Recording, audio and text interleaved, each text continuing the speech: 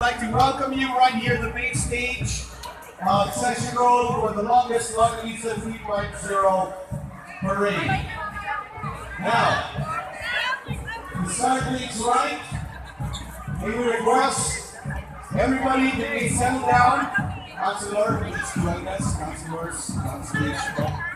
And we'd like to acknowledge, of course, the presence of Tita Nancy Alabanza, Henry Alabanza. Palakpakan naman natin ang Henry Alabanza! Thank you, Tita Nancy. Now, you please clear the middle of your knot.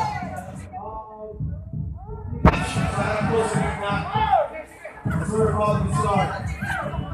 Ladies and gentlemen, we ask everybody to please rise for the entrance of colors.